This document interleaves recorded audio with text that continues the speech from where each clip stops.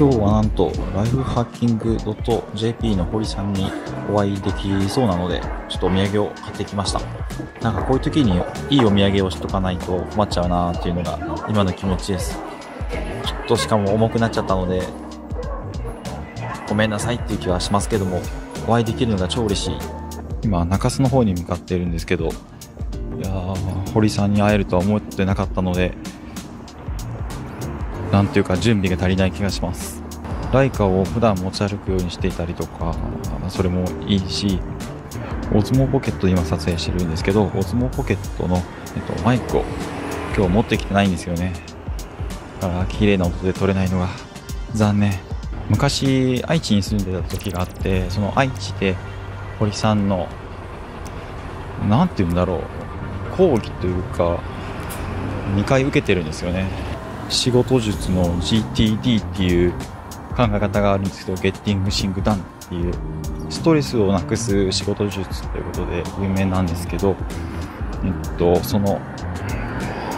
講義や、で、GTD だけじゃなくて、えっと、7つの習慣とかですね、そこら辺も取り入れた全体的な枠組みで人生を捉えていこうよっていう、すごくもう目から鱗な講演でした。まあ、ツイッターで福岡にいらっしゃってるっていうのが分かったので、ちょっと勢いで送っちゃったんですけど、あの、快く返答を、返信していただいているので、これからも会いたいと思います。とか言ってたら場所を間違ったっぽい。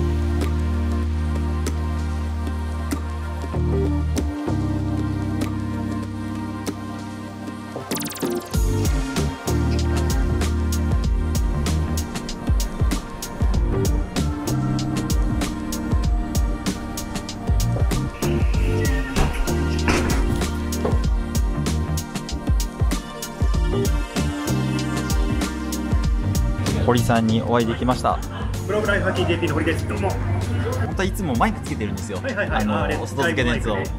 最近つけてなかったんでもう惜しい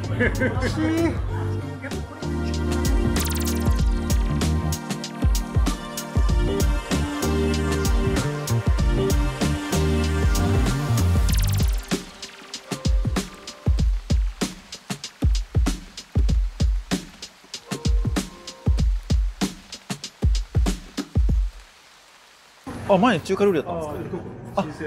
そうなんですか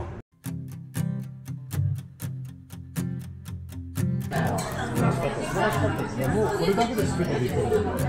いちいちマウスに持ち替えなくてそうか。96年からそういう時代です。ね私ありがとうございました。ありがとうございました。ではでは